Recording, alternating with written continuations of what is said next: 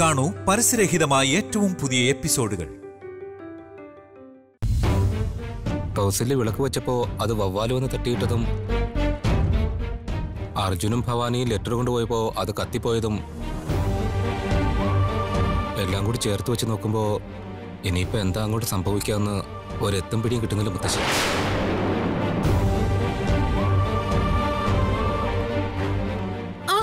ഞാനും അത് തന്നെയാ പറഞ്ഞത് ആദിത്യ. ആ ഏട്ടനും എല്ലാവരെയും പോലെ ഇങ്ങനെ തുടങ്ങിയാൽ എങ്ങനെയാ? ഏതോ ദുഷ്ടശക്തി കാരണം അങ്ങനെയൊക്കെ സംഭവിച്ചത്. പക്ഷെ നാഗമാതാവ് ഞങ്ങളെ അനുഗ്രഹിച്ചതിന് ശേഷം ഞങ്ങൾ തിരിച്ചു വന്നത്. അവിടുത്തെ അനുഗ്രഹം ഞങ്ങൾക്ക് ഉള്ളിടത്തോളം കാലം ഏട്ടൻ ഇങ്ങനെ പേടിക്കേണ്ട ആവശ്യമില്ല.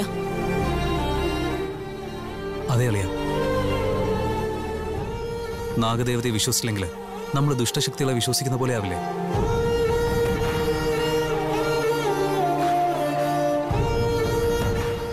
ഞങ്ങൾക്ക് ഇനി എന്തൊക്കെ നഷ്ടങ്ങൾ സംഭവിച്ചാലും ശരി. എല്ലാം നാഗദേവത നോക്കിക്കോളൂ ഏട്ടാ.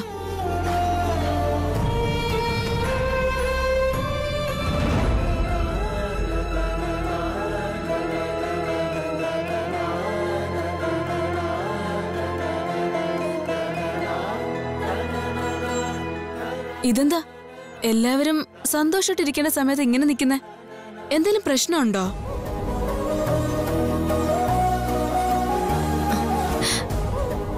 മല്ലി? വാ മോളെ മല്ലി.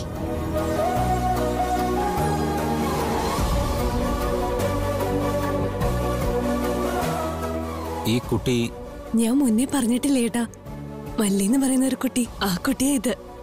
ആ ശരി ശരി. മല്ലി എന്താ ഇങ്ങനെ നോക്കുന്നത്? ഇതെന്റെ ഏട്ടനാ. മല്ലി സുഖാണോ മോളെ? നന്നായിരിക്കുന്നു വല്യേട്ട. മുഹൂർത്തം കുറിക്കുന്ന ദിവസം നീ വന്നു. പിന്നീട് കണ്ടിട്ടില്ല. നീ എവിടെ പോയത്?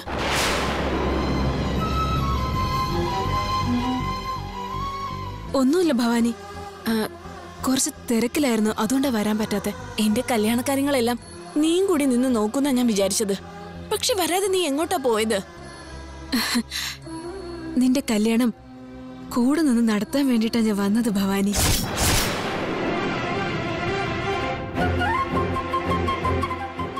ആദ്യം വീടൊക്കെ ഒന്ന് വൃത്തിയാക്കിയിട്ട് നമുക്ക് കല്യാണ ഒരുക്കങ്ങളൊക്കെ തുടങ്ങാം. വാ നമുക്ക് പോവാം.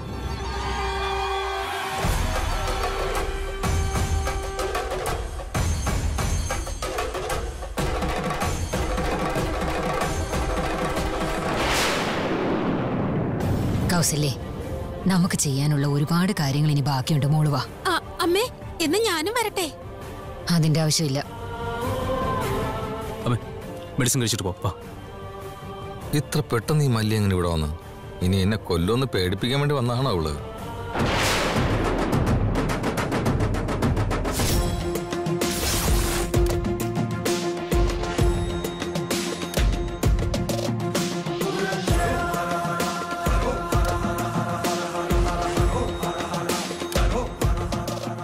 മല്ലി നിന്നെ അല്ലാതെ സാധാരണ കാണുമ്പോ തന്നെ എനിക്ക് പേടിയാണ്.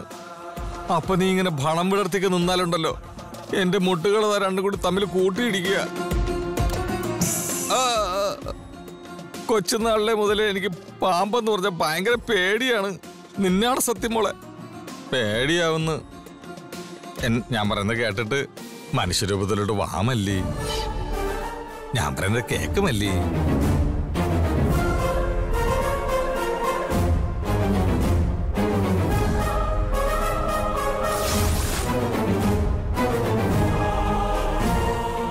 നീ പിന്നെയും എന്തിനാ ഇങ്ങോട്ട് തിരിച്ചു വന്നത്? അത് അത് ഞാൻ ചെയ്ത തെറ്റുകൾക്കൊക്കെ ഇവരോടൊന്ന് മാപ്പ് ഞാൻ ചോദിച്ചായിരുന്നു. എല്ലാരും എന്നോട് മനസ്സലിഞ്ഞ് ക്ഷമിച്ച് തിരിച്ചു എന്നെ വീട്ടിലോട്ട് കയറ്റുമല്ലി പച്ചക്കള്ളം. ആ ഇതാണ് സത്യം. ദുഷ്ടശക്തികൾക്കൊപ്പം കൂട്ടുകൂടുന്ന നിന്നെ പോലുള്ളവർക്ക് എത്ര ക്രൂരമായ മനസ്സാണുള്ളതെന്ന് എനിക്ക് നന്നായി അറിയാം. നീ ചെയ്ത തെറ്റിന് ക്ഷമ ചോദിക്കാനല്ല വന്നത്. അർജുന്റെയും ഭവാനിയുടെയും കല്യാണത്തെ മുടക്കാനായിട്ടാ വന്നേ. അല്ല അല്ല, ഇല്ല മല്ലി ഇല്ല. ക്ഷണക്കത്ത് കത്തിച്ച ആ കാർക്കോടകനെ നീയല്ലേ കൂട്ടിക്കൊണ്ടു വന്നത്? എന്താ ശരിയല്ലേ? കാർക്കോടകനാ? അതാരും മല്ലി? കർക്കോടകാരെന്ന് എനിക്കറിയില്ല. അവൻ കല്യാണ പത്രം എടിച്ചെന്നോ അവൻ ആരെന്ന് പോലും എനിക്കറിയില്ല. നീ പറയുന്നത് കള്ളമാണെന്ന് നിന്റെ കണ്ണിൽ നിന്നറിയാം. എന്റെ തികഞ്ഞ ഭക്തയായ ഭവാനിയുടെ വിവാഹം മുടക്കാൻ നോക്കുവാണോ നീ? നിന്നെ പോലെയുള്ളവരെ ജീവനോടെ വിടാൻ പാടില്ല. കൊല്ലുകയാണ് വേണ്ടത്.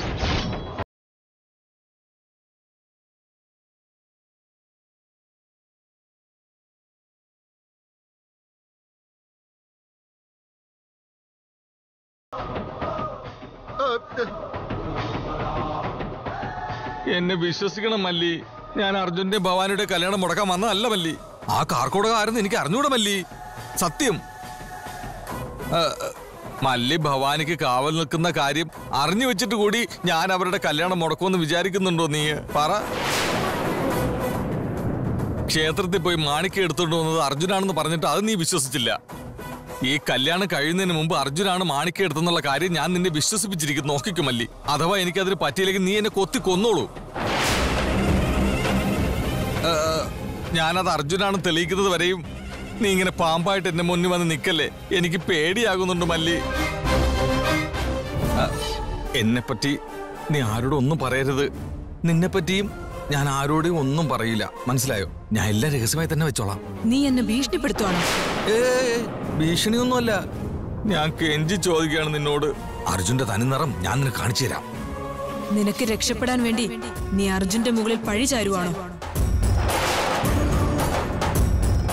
നിന്നെ പോലുള്ളവരോട് ഒരിക്കലും ക്ഷമിക്കാൻ പാടില്ല. ഞാൻ പറയുന്നത് കേക്ക് മല്ലി. അർജുൻ എങ്ങനെയുള്ള ആണെന്ന് നിനക്ക് മനസ്സിലാവുന്ന രീതിയിൽ ഞാൻ കാണിച്ചു തരാം മല്ലി. എനിക്ക് ഒരു അവസരം കൂടി താ മല്ലി. സത്യം മനസ്സിലാക്കുന്നത് വരെ നിന്നെ ഒന്നും ചെയ്യില്ല എന്ന് വാക്ക് തന്നതുകൊണ്ട് ഇപ്പൊ ഞാൻ നിന്നെ വെറുതെ വിടുന്നു. പക്ഷേ ഈ കല്യാണം മുടക്കാൻ എന്തെങ്കിലും ചതി ചെയ്യുന്നു എന്നറിഞ്ഞ പിന്നെ നിന്നോട് ഒരു ദയയും കാണിക്കാതെ ആ നിമിഷം നിന്നെ കൊല്ലും.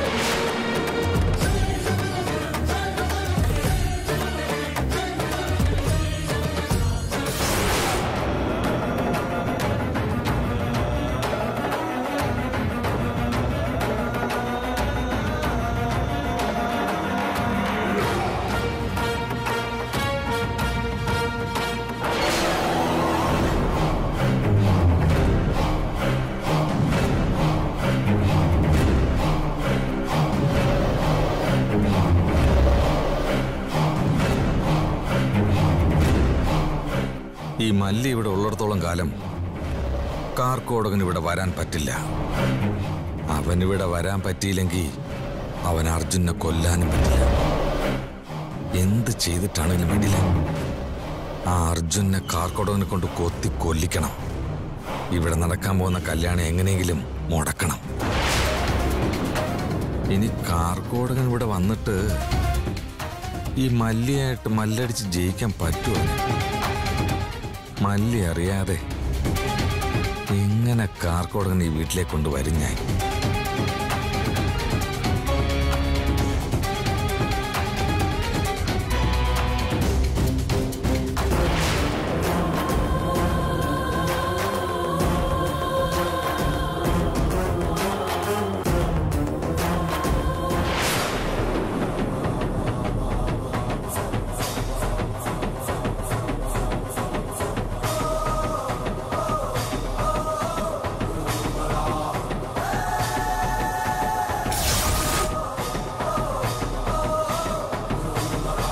എന്തായി കാർക്കൊടക? എന്നെ ഏൽപ്പിച്ച കാര്യം എനിക്ക് ചെയ്യാൻ പറ്റാതെ പോയി. എന്നോട് ക്ഷമിക്കണം അമ്മയെ എന്തുകൊണ്ടാണ് നിനക്കത് കഴിയാതെ പോയത്? ശരിക്കും നിനക്ക് കഴിയാഞ്ഞിട്ടാണോ? അതോ നിന്റെ ഉദാസീനതയോ? ഞാൻ ഉദാസീനത കാട്ടിയതല്ല അമ്മേ. പ്രതീക്ഷിക്കാതെ ഒരുപാട് തടസ്സങ്ങളുണ്ടായി എനിക്ക്. ആ അർജുൻ ഒറ്റയ്ക്കാവുന്ന സമയത്ത് എനിക്ക് അവനെ കൊല്ലാൻ സാധിക്കൂ.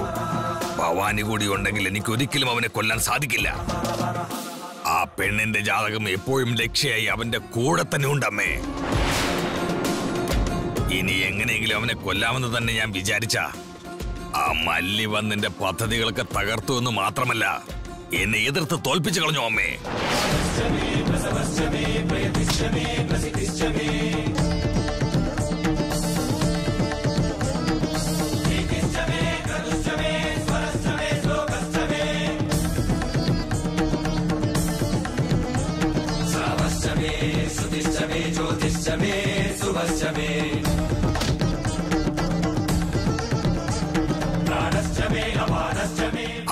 കാര്യത്തിൽ ഇടപെട്ട. എന്നെ തന്നെ കൊന്നുകളയും അവൾ എന്നെ ഭീഷണിപ്പെടുത്തി അമ്മേ. ഇനി ഒരു തവണ കൂടി അവരുടെ ജീവൻ ആപത്തുണ്ടാക്കാൻ ശ്രമിച്ചാൽ നിന്റെ ജീവൻ എടുക്കാൻ കൂടി ഞാൻ മടിക്കില്ല. സൂക്ഷിച്ചോ നീ. ആ മല്ലിയെ എതിർത്ത് നമുക്ക് അർജുനെ കൊല്ലണമെങ്കിൽ അതിന് എന്റെ അടുത്തുള്ള ശക്തി മാത്രം പോരമ്മേ. എനിക്ക് അവരെ എതിർക്കാൻ ഇനിയും ശക്തികൾ വേണമമ്മേ. ആ മല്ലിയുടെ അഹങ്കാരം തീർക്കാൻ എനിക്ക് ഒരുപാട് ശക്തികൾ തരുമേ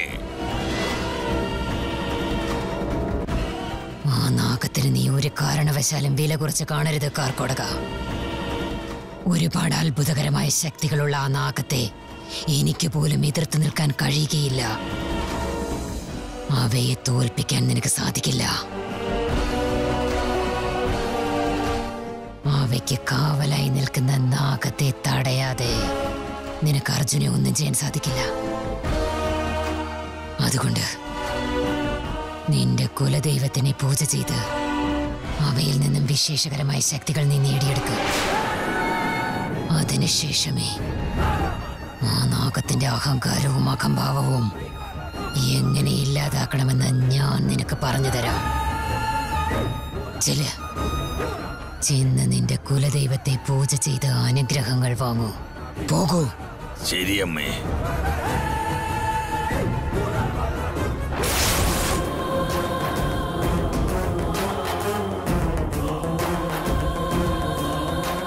ഞാൻ വീരഭദ്രന് നൽകിയ വാക്ക് നിറവേറ്റണമെങ്കിൽ അതിന് അർജുനന്റെയും ഭവാനിയുടെയും വിവാഹം നടക്കാൻ പാടില്ല. നടക്കാൻ ഞാൻ സമ്മതിക്കില്ല.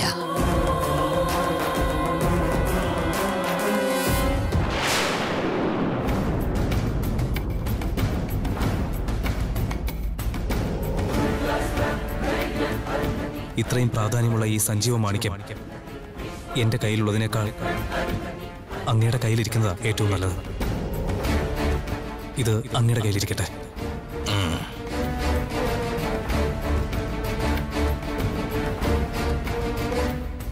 ഓം നമ ശിവായ.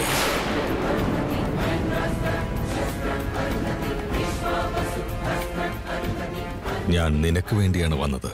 നിന്നോട് അല്പം സംസാരിക്കാനുണ്ട്. എഴുന്നേറ്റ് വരൂ അർജുൻ. വരൂ അർജുൻ. വരൂ. വരൂ അർജുൻ.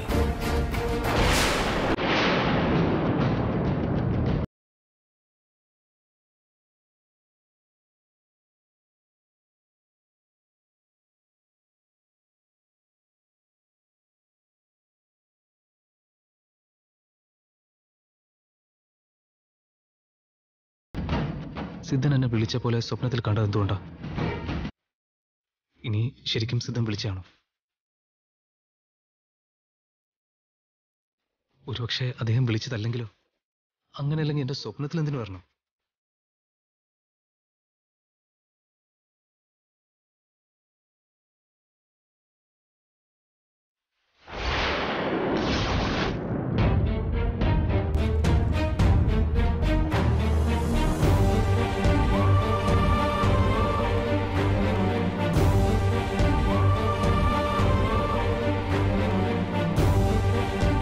അർജുൻ? എന്താ അർജുൻ? രാവിലെ തന്നെ റെഡിയാവുന്നത് എങ്ങോട്ടെങ്കിലും പോകുന്നുണ്ടോ? ഒരു സിദ്ധൻ നമ്മുടെ നാട്ടിൽ വന്നിട്ട് എന്നെ വിളിക്കുന്നതായിട്ട് ഞാൻ സ്വപ്നത്തിൽ കണ്ടായിരുന്നു.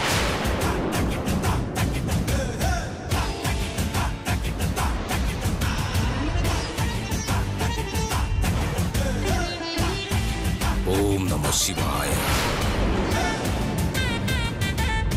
സിദ്ധനെ കാണാനൊന്ന് പോകണം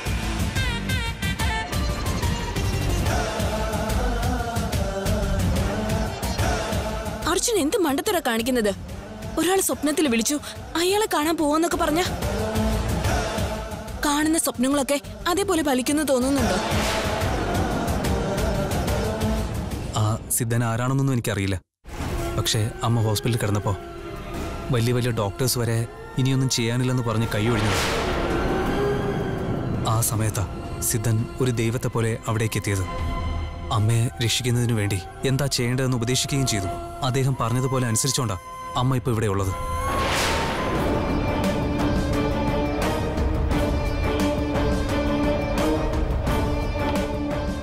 ഇത്രയും മഹാനായ ഒരു സിദ്ധൻ ഒരു കാരണവുമില്ലാതെ ആരെങ്കിലും കാണാനായിട്ട് വരുമെന്ന് ഇയാൾക്ക് തോന്നുന്നുണ്ടോ? ഒരു കാര്യമില്ലാതെ ആരെയും സഹായിക്കുകയില്ല അങ്ങനെയുള്ള ഒരാൾ എന്റെ സ്വപ്നത്തിൽ വന്ന് എന്നെ വിളിച്ചിട്ടുണ്ടെങ്കിൽ ഉറപ്പായിട്ടും അദ്ദേഹം എനിക്ക് വേണ്ടി തന്നെയാണ് വന്നിരിക്കുക.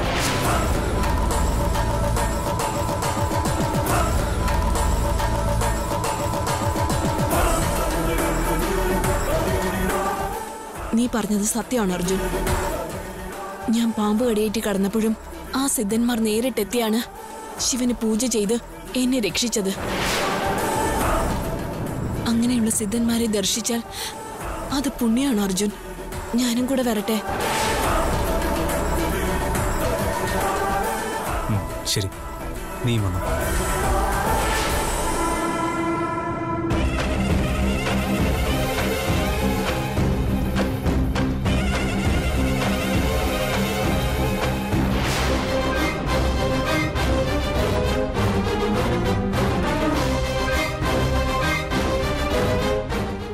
ശരിക്കും ആ സന്യാസി ഇവിടെ വന്നിട്ടുണ്ടെങ്കിൽ അയാളുടെ കയ്യിൽ എന്തായാലും ആ നാഗമാണിക്യം ഉണ്ടാവും.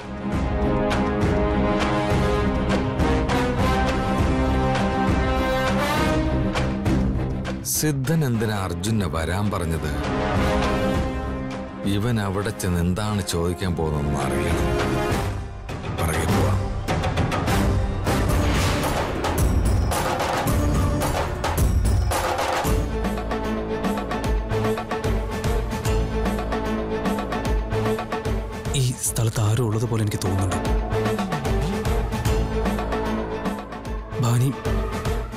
അത് കണ്ടോ? അവിടെ പോയി നോക്കിയാലോ?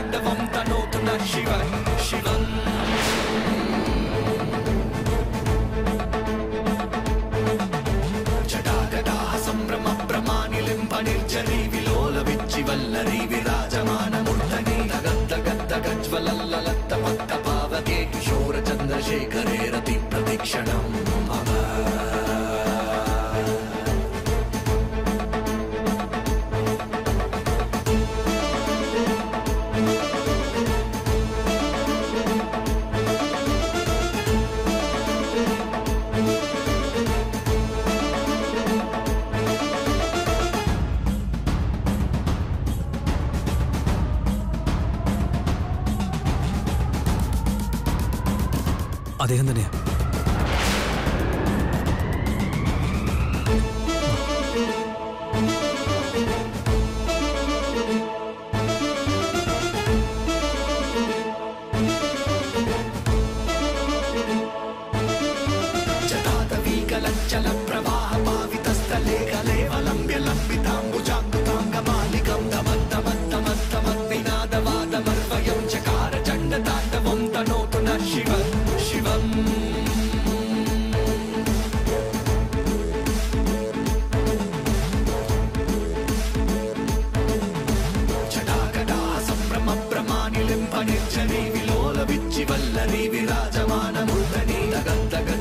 തന്നെയാ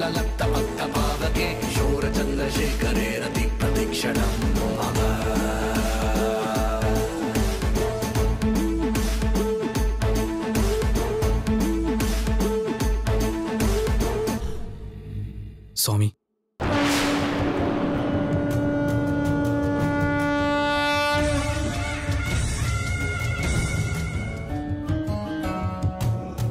അങ്ങനെ വിളിച്ചതായിട്ട് ഞാൻ സ്വപ്നത്തിൽ കണ്ടായിരുന്നു.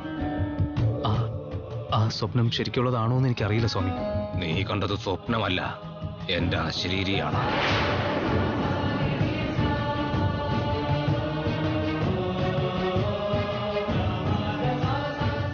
നിന്നോടൊരു പ്രത്യേക കാര്യം സംസാരിക്കണം. അതിനു വേണ്ടിയിട്ടാ വരാൻ പറഞ്ഞത്. പറഞ്ഞോളൂ സ്വാമി.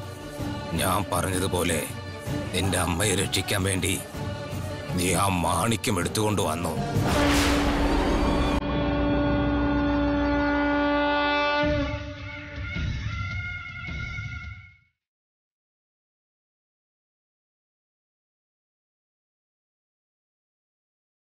സഞ്ജീവ് മാണിക്കോ? ഇത് ഞാൻ ഭദ്രമായി സൂക്ഷിക്കാൻ വേണ്ടി നീ എന്റെ കയ്യിൽ തന്നു. അത്ഭുത ശക്തികളുള്ള ഈ മാണിക്യം പുറത്തു വയ്ക്കുന്നത് അത്ര നല്ലതല്ല. ഈ സവിശേഷമായ സഞ്ജീവ മാണിക്യം കൈക്കലാക്കുന്നതിന് വേണ്ടി ദുഷ്ടശക്തികൾ ശ്രമിച്ചുകൊണ്ടിരിക്കുകയാണ്.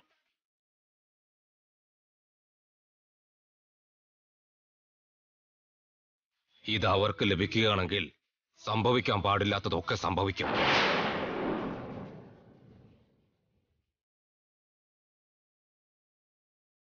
ഭഗവാന്റെ കയ്യിലിരിക്കേണ്ട ഈ മാണിക്യം മനുഷ്യന്റെ കയ്യിലിരിക്കുന്നത് അത്ര നല്ലതല്ല. അതുകൊണ്ട് ഈ മാണിക്യം നീ എവിടെന്നാണോ കൊണ്ടുവന്നത് തിരികെ അവിടെ തന്നെ കൊണ്ടുപോയി ഇത് പറയാൻ വേണ്ടിയാ എന്നോട് വരാൻ പറഞ്ഞത്. വാങ്ങിക്ക.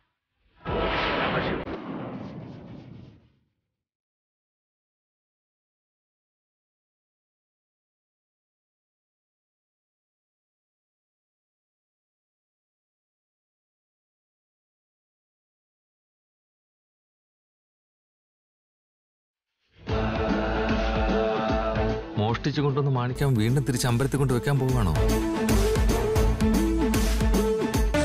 ഓ മാണിക്ക് എങ്ങനെയെങ്കിലും കൈക്കലാക്കാൻ നോക്കുമ്പോ ഇവരതിന് തിരിച്ച് ക്ഷേത്രത്തിലേക്ക് വെക്കുന്ന കാര്യമാണല്ലോ പറയുന്നത് സ്വാമി ഈ മാണിക്യം ഉള്ളത് കൊണ്ടാണല്ലേ നമുക്ക് അപച്ച തിരികെ കിട്ടിയത്? അങ്ങനെയുള്ളപ്പോൾ ഇത് തിരികെ ക്ഷേത്രത്തിലേക്ക് കൊണ്ടുപോയാൽ നമ്മുടെ അപ്പച്ചിക്ക് എന്തെങ്കിലും സംഭവിക്കോ സ്വാമി? അമ്മയ്ക്കിനിയും പൂർണമായിട്ടും ഭേദമായിട്ടില്ല സ്വാമി. മൂന്ന് പൗർണമി നാളിൽ പൂജ ചെയ്യണമെന്ന് അങ്ങ് തന്നെയല്ലേ പറഞ്ഞത്? ഇതുവരെയും ആ പൂജ പൂർണമായിട്ടില്ല. ആ പൗർണമി പൂജയ്ക്കും ഈ മാണിക്യവുമായി ഒരു ബന്ധവുമില്ല. ആ കോവിലിന്റെ ഉള്ളിൽ ഇനിയും രണ്ട് മാണിക്യമുണ്ട്. അത് വച്ച് പൂജ ചെയ്യണം.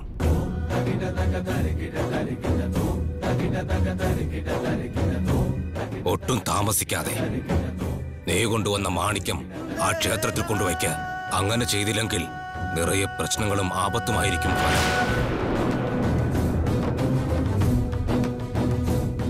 ശരി സ്വാമി. അങ്ങ് പറഞ്ഞതുപോലെ തന്നെ. ഈ മാണിക്യം ഞാൻ എവിടെ നിന്നെടുത്തോ അവിടെ തന്നെ തിരിച്ചു വെച്ചോളാം. നീ ഒരു കാര്യം ഓർക്കണം അർജുൻ. പറഞ്ഞോളൂ സ്വാമി. പരിചയമുള്ളവരായാലും നിന്റെ സുഹൃത്തുക്കളായാലും ശരി ഈ മാണിക്യത്തെ പറ്റി ഒരു കാര്യവും പറയരുത്.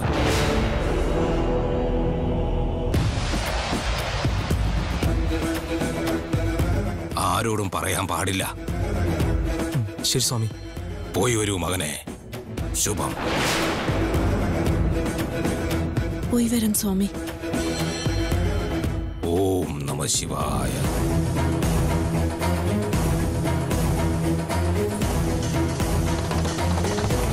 അർജുന ഫോളോ ചെയ്ത് വന്നതെന്തായാലും നന്നായി. എനിക്ക് ആവശ്യമുള്ള ഇൻഫർമേഷൻസ് എല്ലാം കിട്ടി.